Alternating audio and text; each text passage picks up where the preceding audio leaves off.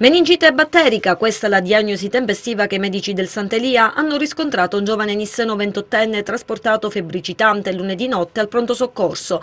Il giovane infatti da alcuni giorni soffriva di mal di testa, uno dei sintomi caratteristici della malattia, oltre alla febbre alta e al dolore o rigidità del collo, che ha così insospettito i medici che hanno immediatamente eseguito il prelievo a livello lombare. Altri sintomi possono essere la nausea, il vomito, forte fastidio agli stimoli luminosi, confusione e sonnolenza, convulsioni e inappetenza. Diagnosi confermata dai risultati di laboratorio dell'analisi del liquor, che hanno così escluso la forma virale, cioè quella meno grave della meningite.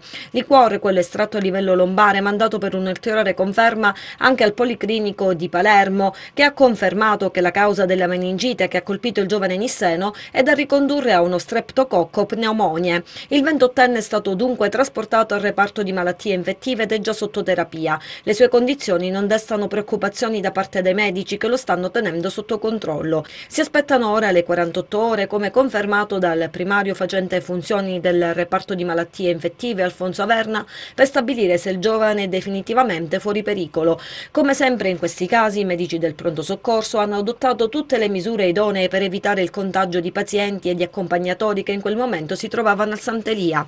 Si tratterebbe del secondo caso di meningite batterica nel giro di un mese in Sicilia dopo il ricovero di una 22enne ventenne all'ospedale civico di Palermo. Il picco della meningite si registra maggiormente in coincidenza con i cambi di stagione o con variazioni di temperature come quelle che si sono registrate in questi giorni.